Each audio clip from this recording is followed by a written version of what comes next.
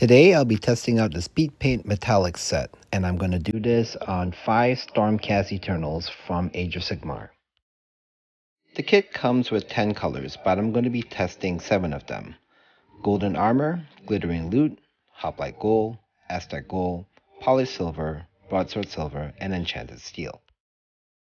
This is a paint review but I also thought might as well make it a tutorial as well. I'm going to be painting up the Hammers of Sigmar, the Hallowed Knights, the Celestial Vindicators, the Anvils of the Heldenhammer, and the Knights Excelsior. Regardless of the paint scheme, I'm going to be first starting out with a black prime. Now I want to do this either with an airbrush with an airbrush primer, or you can also use a black aerosol primer out of a spray can. After that, I'm going to apply a white zenithal highlight and I'm doing this with an airbrush, with an airbrush white primer. And you want to apply it at a 45 degree angle all the way around. Again, you can always use an aerosol can for this, but airbrushes allow a little bit more control. The first paint scheme is going to be for the Hammers of Sigmar, the most renowned of all the Stormhosts. This is mainly a golden armor with some blue. For this, I'm going to try Golden Armor, which is one of the new metallic speed paints from Army Painter, and I apply it with a broad brush all over the armor sections, which is almost the entire model.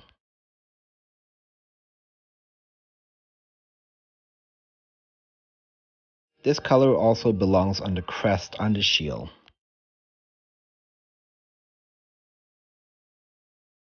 The upper portions of the spears as well as the pommels get this gold color as well. Next I use broadsword silver and this goes on the spearhead.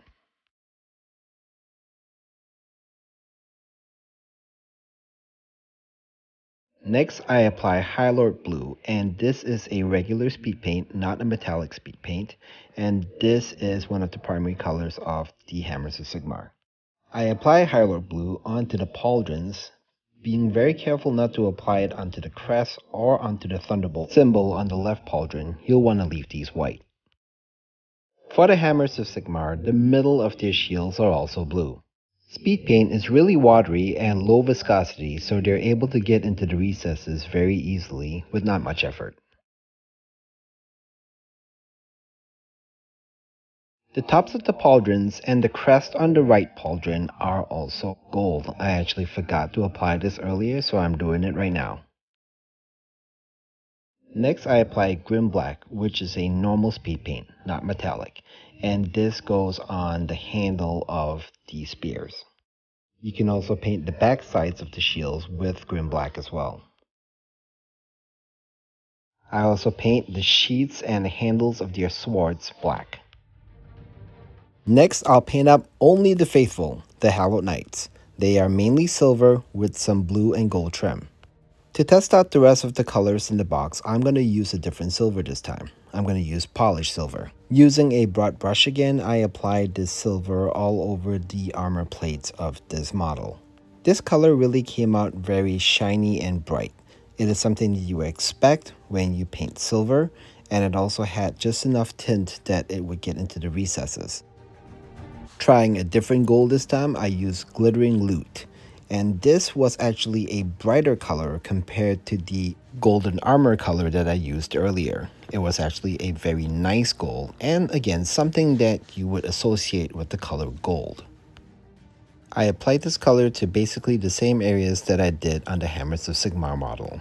The periphery of the shield, the top of the pauldrons, and the spears, the crest of the shield, though, is different. For the Hallowed Knights, you want to apply silver in this area instead of gold.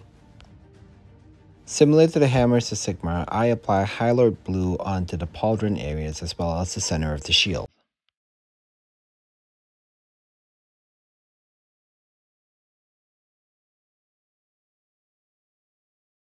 Grim Black non-metallic speed paint goes on the handles of the spears as well as the sheaths and the handles of the sword. Next come the Celestial Vindicators. Now these guys have a very distinctive green armor. There is no green metallic paint that comes in the set, but there is something close called Aztec Gold. What you want to do is mix some Absolution Green, which is a regular speed paint, one part Aztec Gold with two parts Absolution Green. And you'll want to make sure you mix these colors up real good. And if you do, going to get a very greenish tint of metallic. For the Celestial Vindicator, I'm using a different gold just to try it out. I'm using Hoplite Gold, and this color ended up looking really bright. This is a much brighter tint of gold compared to the other two that I used. It was almost like a metallic yellow rather than a gold. Trying a new steel color, I use Enchanted Steel. This color had a very nice cool look to it because of the blue tint that's in it. Same as the previous two models, the handle of the spear, the back of the shield, and also the sheath of the sword and the handle of the sword, I paint those with Grim Black non-metallic speed paint. And I use Holy White for the white areas of the Celestial Vindicator's armor, which are mainly the pauldrons and also the center of the shield.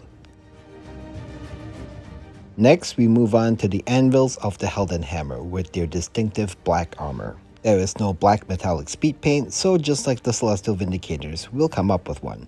For this, I'm going to be using polished silver and mix it with some grim black. Just like before, I use one part polished silver with two parts grim black and then go ahead and mix it up.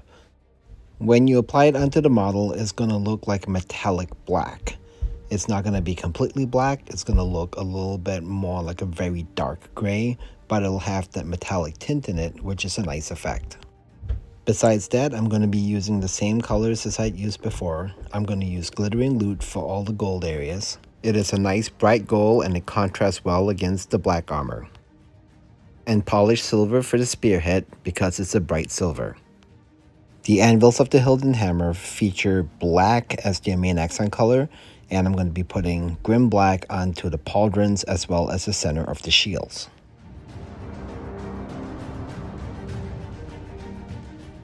And as usual, Grim Black goes on the handles of the spears as well as the swords.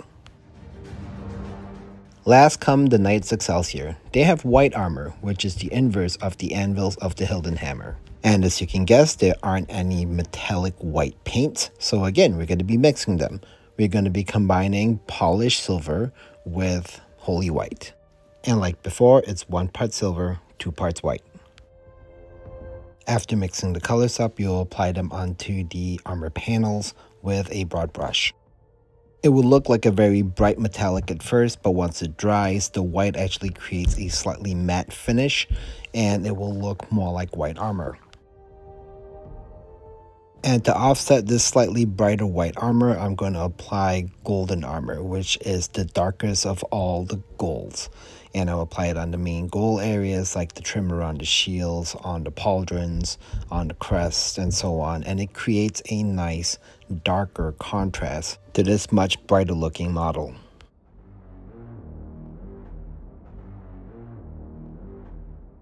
Like the Hammers of Sigmar and the Hallowed Knights, you'll be using Highlord Blue on all the blue areas, which are the pauldrons and the center of the shields.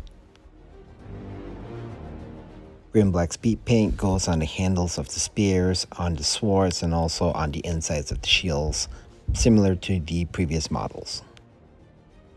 The spearhead can be any color, I use broadsword silver for this area. Regardless of the color scheme, there are going to be a few leather straps on all the models. And for this, you'll want to use Leather Brown, a standard acrylic paint, and just use it with a pointed tip brush to apply around the belts as well as the straps that go down to the swords. Most standard acrylic paints will require some washes to give it depth, so use strong tone on all the leather brown parts that you applied earlier. These Vindictor models that I'm using have some little terrain bits like skulls and rocks. What you'll do is just grab a gray speed paint, doesn't really matter which one, and just apply some on these parts. For basing, I like to keep it simple. I use just some flocking material and some Elmer's glue, apply it with an old brush onto the top of the base, and then after that just dunk the entire base into the tub of flocking material, and the flocking should stick to it. Let's compare the three golds. The first one being golden armor, and then glittering loot, and finally hoplite gold. As you can see, the golden armor tends to be a little bit darker, while the glittering loot is definitely the brightest of the golds that I tried. Hoplite has a little bit more of a yellow tinge to it, and it's not as rich as glittering loot. From the left, golden armor, in the middle, glittering loot, and on the right, hoplite gold. Now comparing the silvers, I use broadsword silver, polished silver, and enchanted steel. The first one is broadsword silver, and it's a very dark color. This is something that you would use in a more grim, dark sort of setting. So this Hammers of Sigmar model overall has a darker look because I use golden armor, which is dark, and then I also use broadsword silver, which is also dark. Comparison with polished silver, which is much brighter. This is what you would associate with a pretty normal silver. So this Hallowed Knights model is very typical of what most people would paint. This one over here is Enchanted Steel. There's a little bit of a blue tint in it if you compare it against the regular, what I would call regular silver, you can see that it glints a little bit more, has a slightly magical tone to it, and I kind of like it. It's it's pretty nice if you want to give your silver something a little bit special. The one on the left is broadsword silver, the one in the middle is polished silver, and the one on the right is enchanted steel. Some thoughts on Aztec gold, which I use as part of the Celestial Vindicators armor. When combined with the Absolution Green, it actually gives a much darker tint of green. And the Aztec Gold is nice because it's got a lot of green pigmentation in it. So it's a very nice greenish gold. For certain application, it works really well. Now polished silver was probably my favorite silver because it's very versatile. You can use it as silver silver, which is what I have here on this Hallowed Knights model. This model for the anvils of the Heldenhammer, I combined it one parts polished silver with two parts grim black, and it creates a very nice darkish, almost black armor, and I really like this effect. So the polished silver will give some pop and metallic look to by if you combine it with regular speed paints. This turned out really well. And then also with two drops of holy white I was able to get a silverish white armor on these guys which are the Knights Excelsior. Here are some 360 degree views of all five models just to give you a look at the different colors on the 3D surface. All the colors in the kit seem to have its own uses. The two most versatile ones that I found were polished silver and glittering loot. Those were a very nice silver and a very nice gold respectively. These metallics are really fast to use and I definitely recommend them on any heavily armored model. I hope this video helps you select the metallic speed paints that you need and also help you paint up your army of Stormcast Eternals. Thanks for watching and I'll see you in my next video.